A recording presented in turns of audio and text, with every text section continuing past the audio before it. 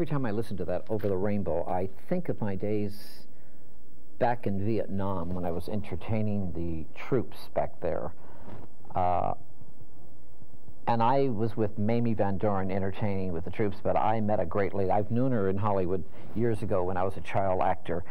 And when I was in Vietnam, this lady was a nurse, actress, comedian, nurse. Could you imagine? She was in the military. I think she is the first actress ever served and stayed in Vietnam during the war. Those were my precious memories of Vietnam when I met and worked with Martha Raye. And guess what? Today I have a gentleman who you've probably seen and heard him on the Howard Stern 40 or 50 times. And what it what it is is that Mark Harris married Martha Raye. They called you the gigolo when that first when you married her. What is that all about? Tell me. Caused such a scandal, I didn't know what happened. I really didn't. Well, how did you meet her anyway? I mean, you really created a scene here in Beverly Hills. Without knowing. Without, Yes, if, if I tried, I couldn't have done a better home run. everybody was talking about this gigolo from New York, wherever you were Oh, from. yeah, right. I was doing a show in Vegas, putting Eddie Fisher together with Al Martino, 19-piece orchestra, and then Martha had asked to meet me. Uh-huh. Um, she had certain problems that were going on personally, and one thing led to the other, and uh, we got married very quickly. Quickly. Quickly. That's why they called you Gigolo Mark Harris. yeah, I, I like it now. Now I want to preserve really? the title. You like that title? I think it's funny. I mean, Okay. it's you know. Because you know why? Because you're not. Right. See, that's why you're enjoying it. Exactly. I mean, I don't think a gigolo could be as lucky as I have been. Yeah. And good to her, too. She deserved it. She was Martha Raye, very special lady. She was special. Yes, very What good. made it so special for Mark Harris? Because you're young. Martha Raye was what? 33 years my senior. Uh-huh. But in growing up, of course, I grew up with the Martha Raye shows in the 1950s. Right. Knowing all about her, my late father, born on the same day and year, serving in World War II when she came over to London. Uh-huh. And uh, you could see that all in the museum that I made in Fort Bragg with all the memorabilia. So you got all the memorabilia of Martha Raye when she passed away. Yes. And you did this. Yes, all her deeds uh, and work is on the military side. Right. Is at Fort Bragg. She served in three wars, and I have all the Hollywood uh, Uh-huh. memorabilia left. So now, uh, like you saw, the Oscar, the first lady recipient of the Jean Hersholt Humanitarian Right, Oscar. right. She was the first lady friar, so it's perpetually there on a 99-year lease. That was a great evening of the Friars that Yeah. evening of Martha Raye. it was wonderful. Yeah, it was a good tribute. What makes Mark Harris drive so? I mean, you're on that Howard Stern show constantly talking and traveling around the world. Keep a place in Berlin. Yeah, I have an you apartment. apartment in Berlin. Yes. You just got back from Rome. And You- Paris. And Paris. And I'm a little tired. I give in. What makes you run the world so? I, mean, like people. I'm and from you got Brooklyn, the house. and I don't want to go back. And you got the house in Bel Air where Martha lived. Yes, but that fell in the earthquake, and I uh, rebuilt You rebuilt it. over 10,000 square feet. And you'll see that it's a tribute to Martha. It's Right. very. It's a French Normandy chateau, and it's on I like the the word you're saying, tribute to Martha She Raye. You're deserves it. making everything a tribute to her, which is very nice.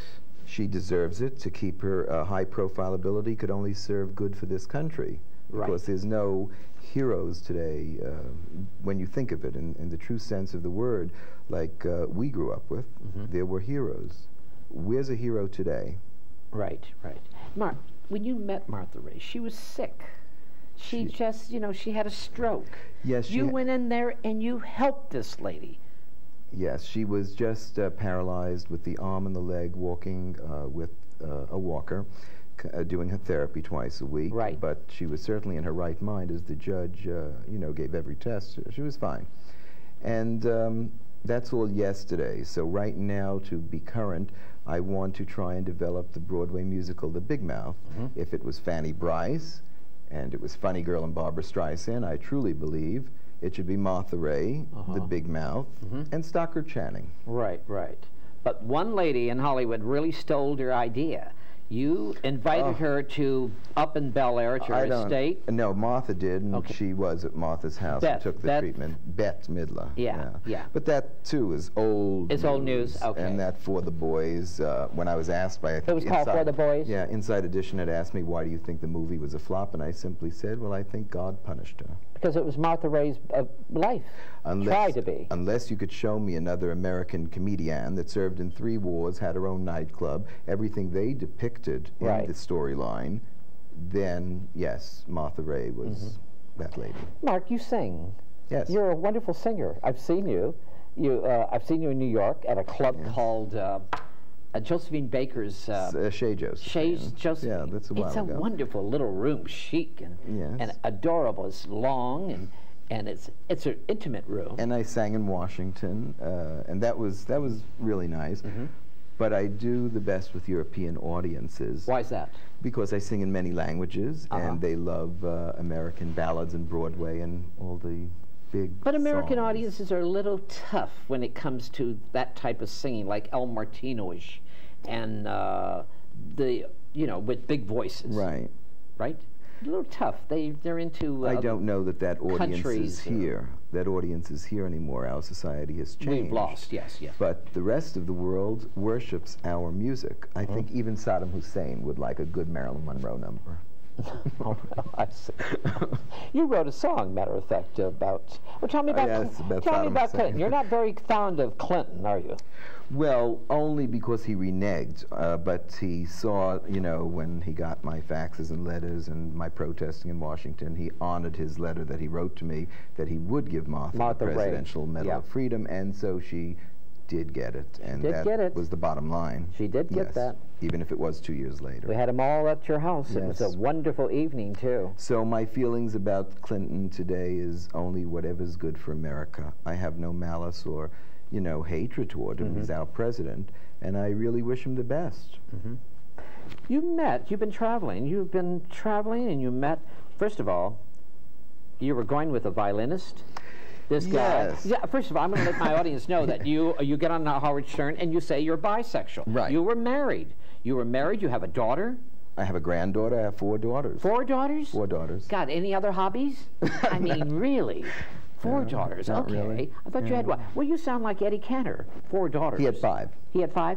Okay. I don't think he was bisexual. no, no. But you are uh, a bisexual. Yes. The difference between he and I might be he strummed the banjo. How does that hit with your family, your daughters, and Well, uh, they grew up with it. They love their daddy. I love my daughters. Uh-huh. And um, I think uh, it's, you know, it's nothing. Um, there's plenty of us around, but I've never intended to say. But you just came out of the closet, or No, have I'm, you been out of the I'm closet? claustrophobic, so no, no, no. I was never in a closet or a parade. Uh, the gay people think I'm bullshitting about being bisexual, Right. and the straight people think I'm really gay. So I really don't care. You don't call. You don't uh, really call yourself I, whatever. I just thank God I'm enjoying the orgasm. I could care. Enjoy the org- Okay. Now you met this lovely lady She's wonderful. In New York? Absolutely. I In New- can't get over it. In New York City. She's an In Italian Manhattan. lady Manhattan. Born in America. Look at this. She's on the steps of Spanish of the Steps. Can I get a little close up of this? Maybe I'll do it like that.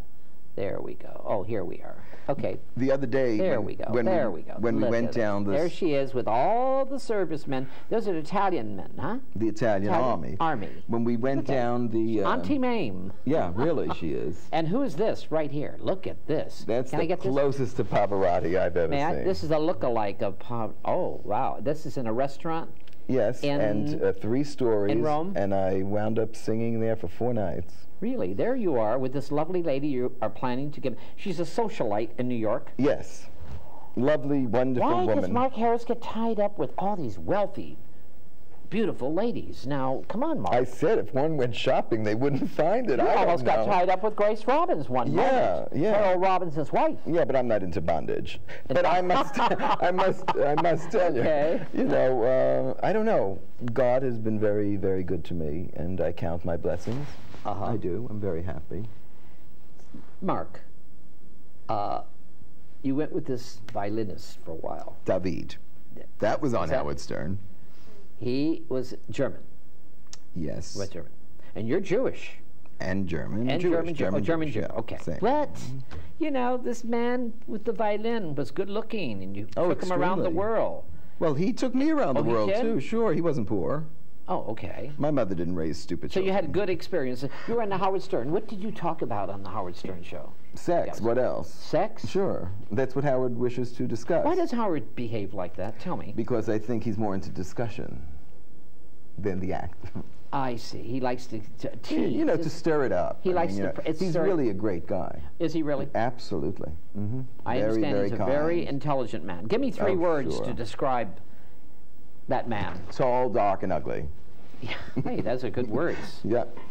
Man, What can you, what you can't tease about Howard Stern? What you cannot tease about that man? Tell me. He's too alert. I mean, to tease, he always Yeah. has a retort. So uh, I don't You've called him many times on the to phone. his face, of course, uh, and on the phone, whatever the case may be. Yes. I said I might be bisexual, but if you're interested, look elsewhere. I wouldn't touch you. Uh-huh. You know, I mean, we joke about that, but I mean it. I wouldn't touch him. He's a, was he a comedian ever, as a comic? No, or just uh, I don't think so. no. No, I don't think so. I see. You were in his movie. No, I wasn't. I would have been in the movie had there been a sequel, because the Private Parts, Part One, Right. was strictly about his rise to right, fame. Right. And the And second one along. would have been about Yeah. the character. And now you're in his book. Both books. Both books. Uh, there's a third book coming out, I believe. So you're in in that. that book too. Yeah. hmm So how do you feel? You everywhere you go, they talk about Mark Harris, Howard Stern. Wouldn't you rather be Mark Harris, Martha Raye, or just Har- Well, Mark Howard Harris? called me Mr. Martha Raye. I wore He that. did with- call you for yeah. a long time. Yeah, that's that's fine. I wear that with honor. That's not a problem. It isn't a problem. You know something when you get to this age, uh, you really don't care that much. Uh, I'm very content. I'm very happy, Uh-huh. and uh, quite devoted to my children. And uh, I think I might get married again. I'm looking at you right now. Yeah. Where are you going for Mark Harris? Where are you going to go? You're going to marry the socialite? What are you going to do? I know you open business. I know you tried a television show. You're doing radio. You're doing everything. Where is, and you're doing a movie. Where is, and you're writing a book. Where are you want this to go, Mark? to Broadway for Is a this what you're aiming musical for? of Martha Raye's life. Yes. After all, how many sequels can you have? Right. And The Lion King is wonderful and it's a smash, but Martha, known as the Big Mouth, could roar a little louder. Uh-huh. Tell me something about Martha Raye, the last days of Martha Raye when you spent with her, because before she got into that, because I well, she died of pneumonia, but Right, uh, being but- a double amputee was she had double. it was quite heavy, quite uh, distressing. But she was atrophied and she couldn't bend her uh, neck anymore to look. And uh, I told her it was vascular surgery. She never knew that uh, her legs were removed, and um, the pain I told her, which was phantom pain, as if the legs were there, Right. was vascular bypass surgery. And you know, being a veteran, that Martha Raye won the contest uh, in World War II of having the most beautiful legs. Sensational. she went overseas and gave it to Betty Grable. Vitality. This lady had such vitality on Oh. that stage.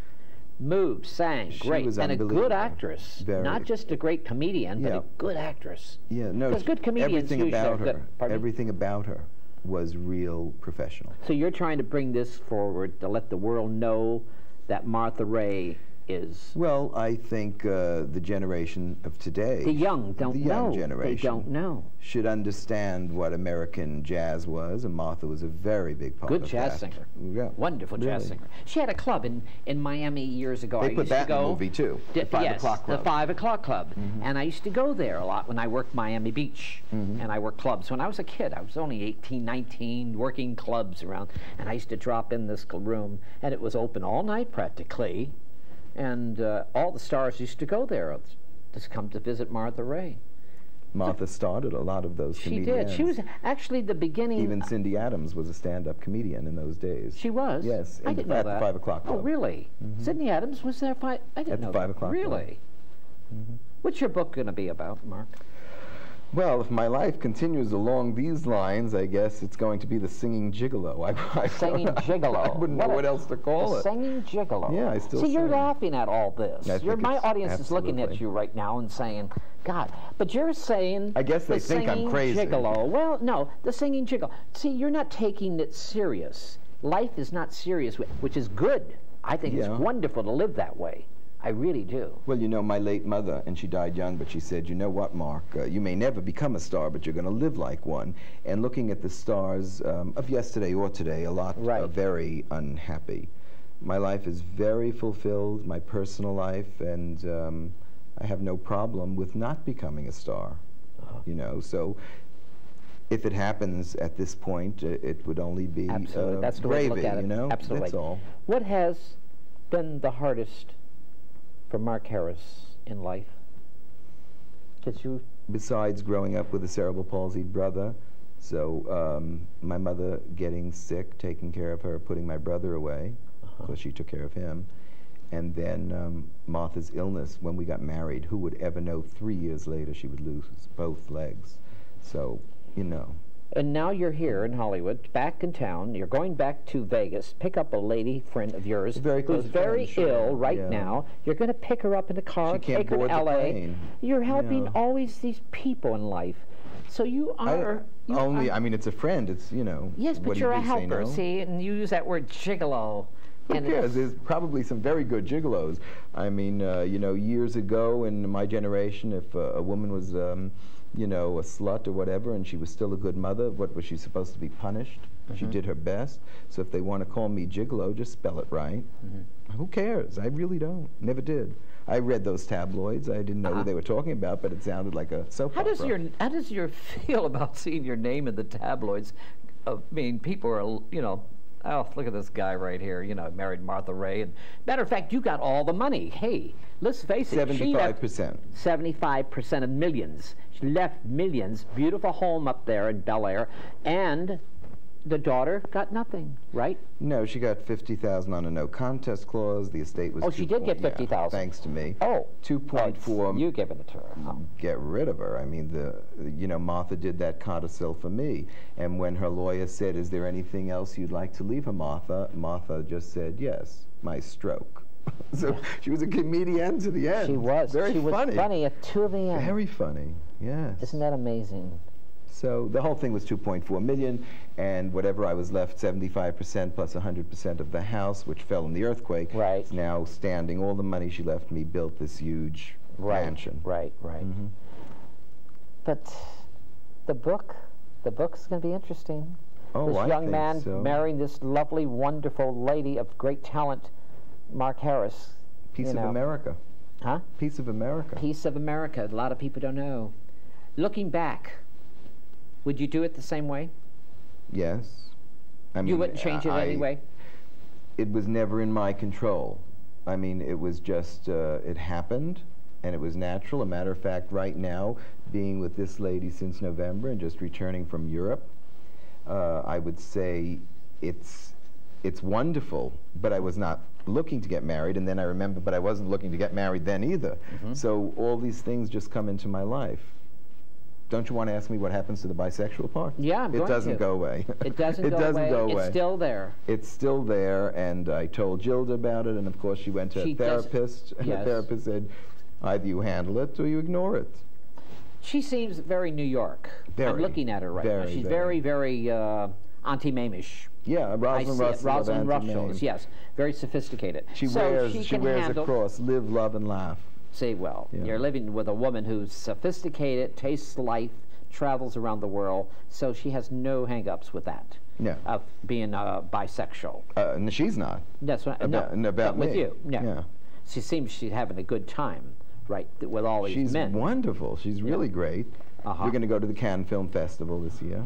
Is she married before, was she? She was married twice. She was married twice. She has children. How about the kids? Yes. Do they accept you, and what's happening? I don't know. I never met the daughter, and uh, I do know that the daughter is writing me a letter of thank you as I've extended the invitation for her to join us in Uh-huh. Cannes. Uh-huh. So, uh, of course, I shall respond. You go to Cannes every year, don't you? Yes. Why is that, Mark? Why do you go to the Moi, Cannes je parle beaucoup en français. J'ai visité Monte Carlo aussi, uh, Genoa, Italy. I, I love Europe. I speak the language. Mm-hmm. And, um, you know, it's nice to celebrate and have people over the apartment that I rent there every year. Hmm. But living in New York, is you're going to move back because she lives in New York I've City. been away 17 New York City, years. Manhattan, that's the 17 place to live. Yeah, they tell Mark, me that. that's the place to live. Manhattan, not California or Paris or Rome. Ma- if you have a millions and millions of dollars, Manhattan's the place to live. so I shouldn't get an apartment in Brooklyn.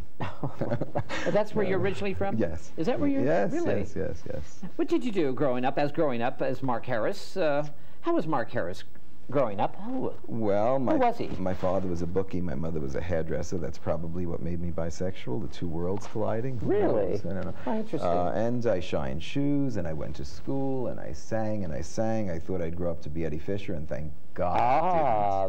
Thank God I you wanted to be Eddie Fisher? Oh, well, in those days, he was popular, you But know. he was off meter. He was an off meter singer. Yes. He Yes, couldn't yes. sing on meter. Eddie Uh-huh. Fisher, you had to count beats. I used to work with him. I you have rhythm, I- so oh, I'm- you have rhythm. I don't have to worry. Yeah. Oh, okay. Yeah. So that's how Mark Harris wanted to be, like Eddie Fisher singer, huh? Yes, but everything changed in the 1960s. Did you work the islands, Long Islands, and you know, up Catskill in Mountains. Catskills? Did you work the Catskills? Yes, everybody wanted me for their daughter. really? yes. That's how I learned to speak Jewish. Ah, you do speak Jewish. Very well. Yes. I introduced you to Shelley Winters, and you spoke Jewish to this No lady. problem. Le- No problem. Wow. You how many languages did you speak? German, French, English. I started to learn Italian, and Uh-huh. I could curse in Farsi.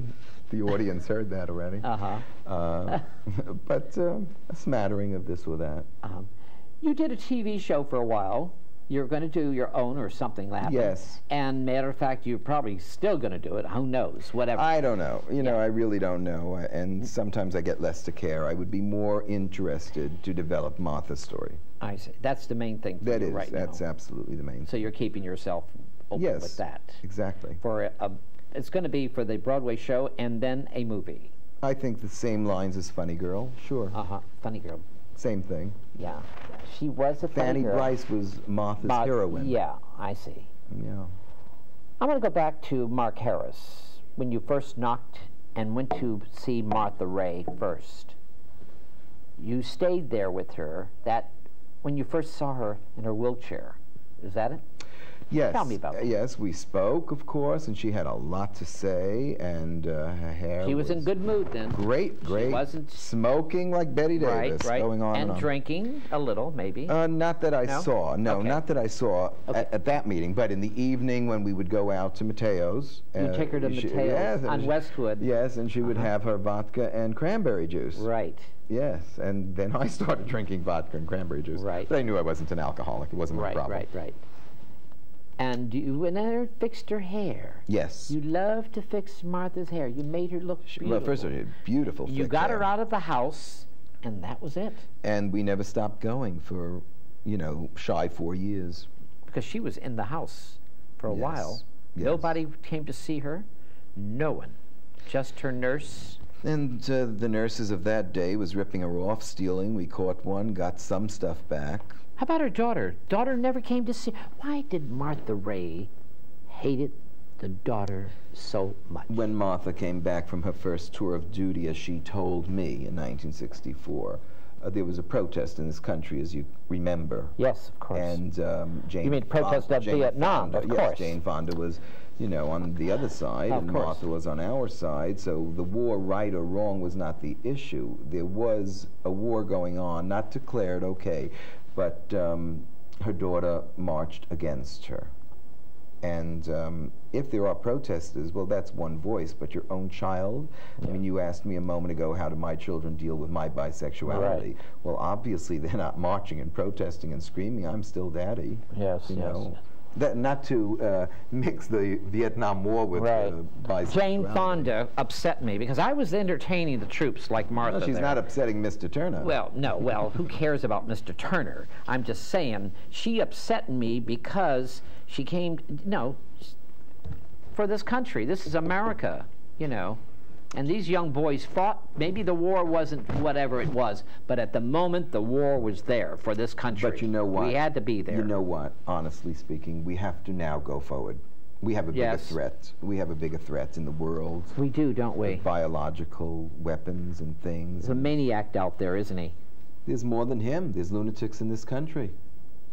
Yes, true. The white supremacist look- group. the Where, they, where is their head? Well, there's What is- that, that what is man. that about? They're crazy. that man who's stirring the pot right now, this Kenneth Starr, is I think I think Mrs. Uh, the president's wife hit it right on the nose. I believe, I actually believe, there is a white supremacist that is starting here in America. There has always been, and it's more vocal with Clinton and liberal Hollywood. And I'm not taking Right. anybody's side. If I was, I, I would have to take the liberal side. I don't believe in burning crosses or killing people. Right. They are absolutely lunatics. Yes. I mean, Abortions. They, Look what, at they worship clinics. Hitler. Yeah. Where do you have to go? Yeah. I mean, you know. Yeah. So um, abortion, that's a whole other issue, and that's a woman who's carrying it's her issue. Yes. It's not a, a Yes. political issue. Yes. It shouldn't be. Not at all. In You're- America, we should separate, you know, church and state. That's how we're founded. S- Clubs you're going to work at all in town? In Europe, I enjoy it. In town, I You- haven't performed here. How about the Friars some evening? How about, uh, or you know, there's a wonderful little room in Palm Springs. Brand new room. Jim Bailey's there right now. Uh, I understand uh, Tony Martin was there two weeks ago Just saw him at lunch. at uh, Friars. Friars. And um, matter of fact, we're doing our show here at the Friars right around the corner. We're in Beverly Hills High School. That's where we are right now. And I must tell you, uh, Milton Berle is going to be there doing some stuff. Every every big star is going to Palm Springs in this little room. It's called uh, Basin Street West. Oh. It's cheap.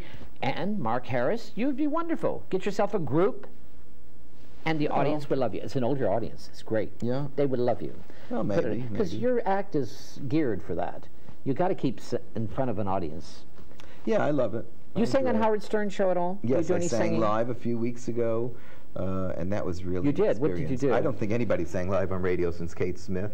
Okay, Smith. I did a beautiful love song. on Howard Stern show? Yes. Did you really? As the violinist played. oh, It was really nice.